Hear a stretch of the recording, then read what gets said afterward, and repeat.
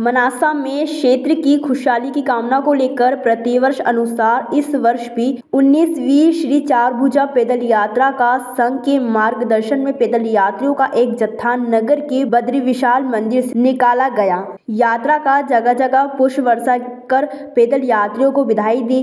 करीब 10 दिनों तक पैदल चलकर यह जत्था श्री चारभुजा मंदिर पहुंचेगा।